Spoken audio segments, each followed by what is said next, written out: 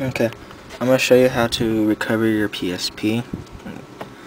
There's two things you would, oh, okay, first off, you would only use recovery if you break your PSP due to flashing themes or anything to the PSP's internal memory called flash and there's two types of flash flash zero which um, is the main XMB menu like the icons the waves the themes and the volume bar just to name some of the stuff and flash 1 is more of your settings such as saving the background or your wallpaper to your PSP. That will be considered as flash 1. Okay, first off you need to download the 1.5 official firmware. Save it.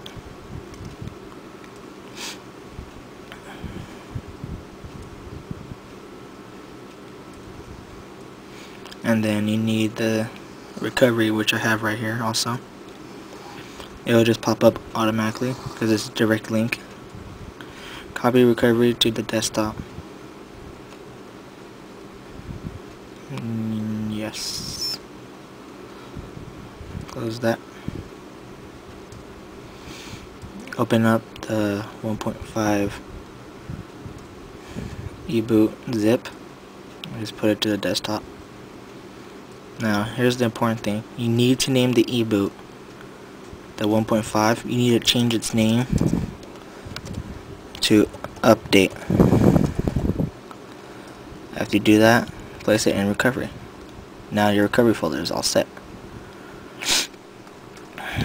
Now that you did that let's pretend that my PSP is bricked the screen is black okay?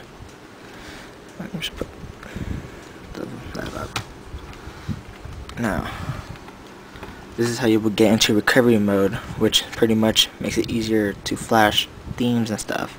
But also if your PSP breaks you can go there to use the recovery folder and fix your PSP so hold the R trigger when you turn the PSP back on and you're in recovery mode go to advanced oh, toggle USB this is if your PSP is bricked this is the only way you have to do it so I'm doing it as if my PSP is bricked.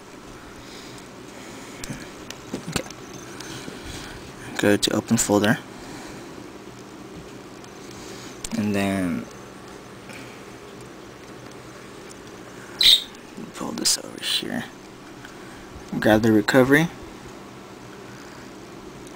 Or PSP, then open game, drag recovery into the game. There you go. Just let the files copy to the game folder. After it's done, you can just close it. Come over to the PSP and go run program at PSP recovery. Hit X.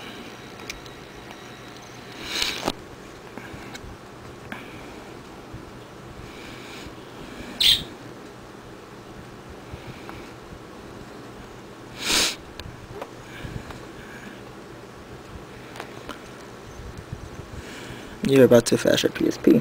Press X to start. And I accept all responsibilities what happens. So I'll push X.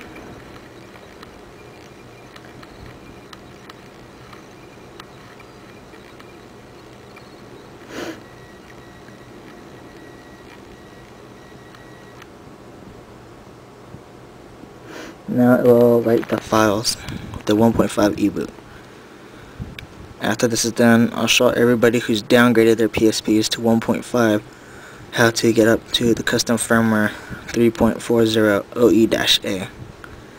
Currently, it's at 38%.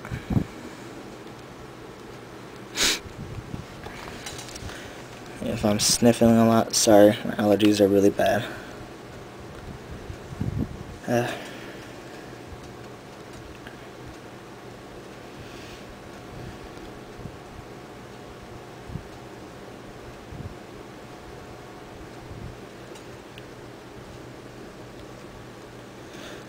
ninety percent. It's almost there. We start the PSP manually. It's done. So I turn off my PSP.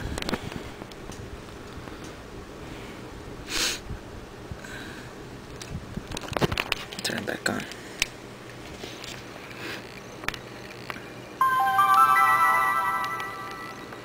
Every time you update your custom firmware or recover, you'll get the blue screen, which is not bad. It happens all the time. And just push circle.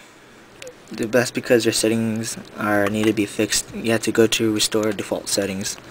Even after you push circle and do all this, you still have to do uh, restore the default settings for the main menu. It's just to fix any bugs that are in the firmware.